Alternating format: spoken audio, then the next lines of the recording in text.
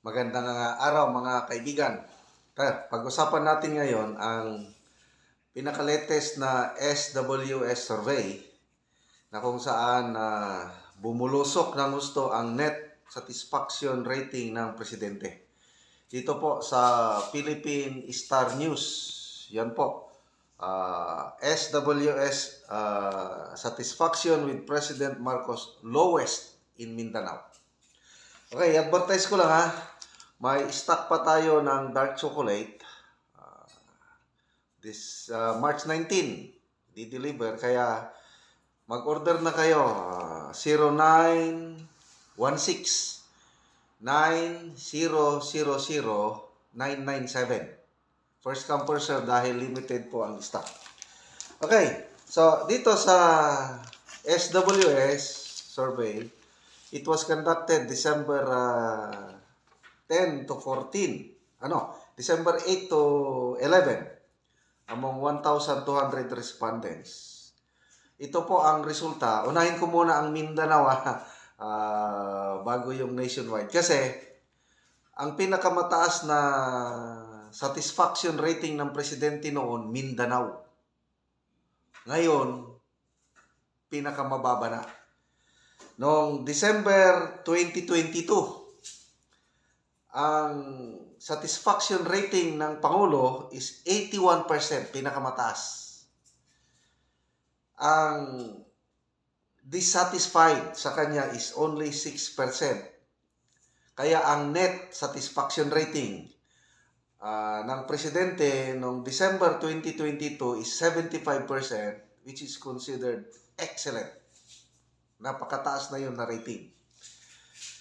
Kaya lang, after one year, ngayong December 2023, ang satisfied sa performance ng Pangulo bumaba ng 61%. Noong December 2022, ulitin ko, 81% ang satisfied.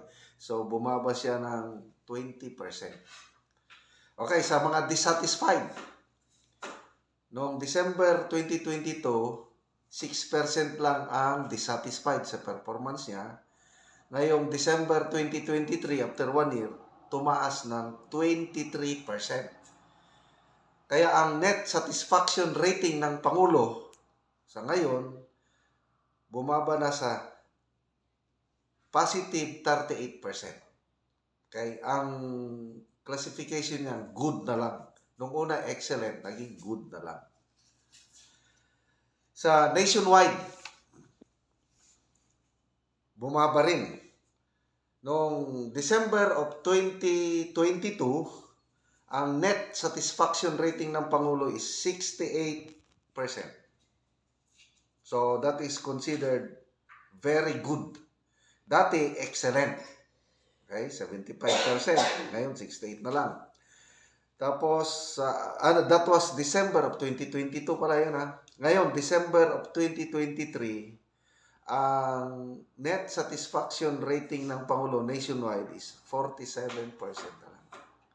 So, ibig sabihin, uh, out of 10 Filipinos, lima na lang ang uh, ano sa kanya. So, anong ibig sabihin nito? One year pa lang ang Pangulo sa opisina. Considered honeymoon period pa ito, yung one year eh. Dapat mataas pa sana. Kaya lang, grabe na yung pagbaba. So, ano ang mangyayari? Uh, may... Ito, itong survey nito, it was conducted December 8 to 11. Wala pa yung birada ni PRRD ni Pangulong uh, Duterte, kailan ba yung prayer rally na sa Davao na inakusahan niya ang Pangulo ng drug addict, kung ano-ano pa. Baka makaapekto pa yon sa image or performance ng presidente. Kaya, babantayan natin itong first quarter survey ng SWS uh, para makita na yung epekto ng yung palaging rally-rally na ngayon, lalo na yung People's Initiative o Charter Change. So ano sa tingin nyo? Kasi ang satisfaction ng presidente pababa na eh. Kaya pa ba niya na makabawi? Kasi maalala ko si PRRD, meron ding panahon noon na siguro after two years na siya in office, yung yung first two years, puros excellent ang rating ni Pangulong Duterte. Uh, nasa 80% uh, to 75, ganun yung first two years. Kaya lang dumating, after two years, bumaba. Kaya lang after mga two quarters, nakabawi siya, then pataas na ng pataas. Hanggang at the end of his term ni PRRD, if my memory is still right, mga nasa 80% pa ang kanyang net satisfaction rate. Mataas. I think he is the only president in Philippine history na paalis na siya sa pwesto, napakataas pa rin yung kanyang satisfaction rating. Kaya yung si political analyst na si Professor Ronald Llamas, tinanong siya ng media kung uh, treff ba si PRRD sa presidency ni PBBM na uh, pwedeng ma, ma, mawala sa presidency ang Marcos government. Ang sabi ng political analyst, he's a big, big threat. Sabi pa niya, capital B, I, G. Duterte still commands uh, or still has a lot of influence in many sectors in society especially among the men and women in uniform. So, iyan ang ano ngayon, tanong. Paganyan na ang presidente. Ano ang, to me, this is a wake-up call. It's a challenge. Na sana ang gobyernong ito, eh, pakinggan nila ang damdamin ng taong bayan. Lalong-lalo na itong charter change, people's initiative Very clear na ngayon, hindi na nila ito maitago na hindi economic provisions ang target nila kundi ang political provisions ng constitution yun ang gustong baguhin. Kasi yung economic provisions, yung mga restrictions, yung mga foreign investor, mahirap makapasok dahil restricted. Pwede mang i-legislate mo lang yun.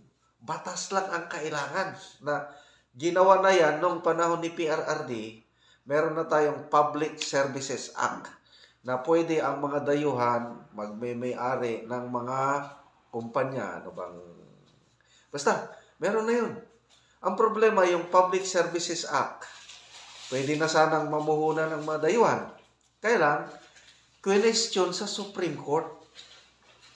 Eh habang wala pang desisyon ng Supreme Court, kung constitutional ba yung Public Services Act, alanganin ang mga foreign investors, sayang yung puhunan nilang ininvest sa Pilipinas kung i-declare ng uh, Supreme Court na unconstitutional yung Public Services Act. Kasi mga dayuhan na yan eh. So, hindi talaga problema yung economic provisions. Pwedeng batas lang ang ipasa ng Kongreso. So ano ang gusto ng administrasyong ito? Term limits. Yun ang isusunod. Isusunod na babaguhin once na nabago nila yung mga economic provisions. Kaya marami ang yan ang inaayawan ni PRRD yung mga prayer rallies. Uh, nagsimula sa Davao, napunta sa Cebu. Uh, pangatlo, I think Bulacan abangan, naka-schedule na. At sunod-sunod daw ito ng mga prayer rallies hanggat hindi titigil ang administrasyong ito sa kanilang People's Initiative or Charter Change. So ano ang dapat gawin? Sana itigil na yung charter change na yan.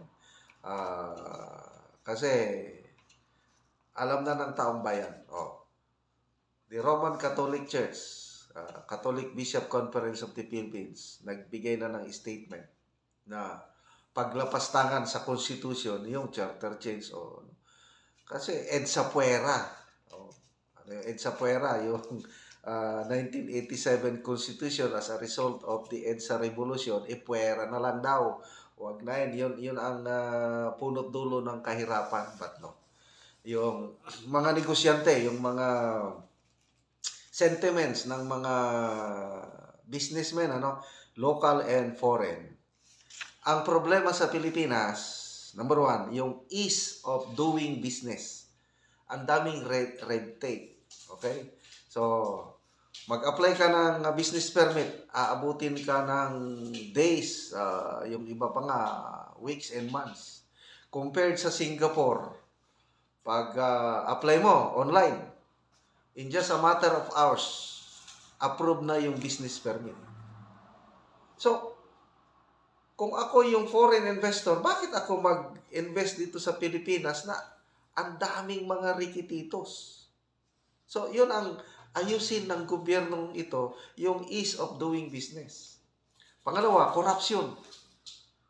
Talamak ang corruption.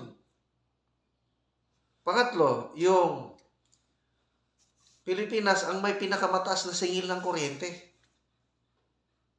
Eh bakit ako magninegosyo sa Pilipinas? Ang taas ng presyo ng kuryente. Eh doon na lang ako sa Vietnam, sa Singapore, sa Thailand. O pang-apat, ano ba yon Yung pabago-bago ang government policy. Walang ano, so unstable yung political environment, economic environment sa Pilipinas. Kaya yun po ang nag-drive away sa mga foreign investors sa Pilipinas. Kaya wala. Hindi problema talaga yung konstitusyon. Okay? Ang problema ang gobyerno. So, ano pa? my prayer, my wish. Sana uh, panawagan nga ni Senator Escudero, shape up Ibig sabihin, ang presidente, he will take total total control ng gobyernong ito at siya, yung leadership niya ano, kasi ito ah, perception ng karamihan, uh, he is not in total control. Kahit biyahe pa ng biyahe ang presidente sa abroad, ang daming mga pledges na nakukuha billions of dollars, pledges pa lang yun. Kailan, hindi naman yung nagtra-translate ng trabaho. Okay, ano yung uh, Philippine statistics uh, data for first first quarter ng uh, 2024 for January bumaba yung labor force uh, 1.4 million uh, jobs ang nawalan ng ano o Pinoys ang nawalan ng trabaho statistics data na yan ha. Kumukunti ang trabaho sa Pilipinas. So, anong ibig sabihin nun?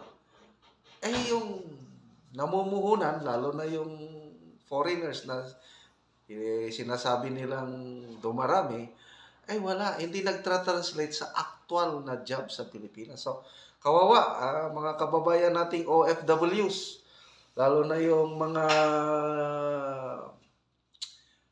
napalayo sa pamilya, mga nanay na nasa iba't ibang bansa, ang ating uh, inaasam na itong panahon ni Marcos Jr., dadami ang trabaho, makauwi na kayo.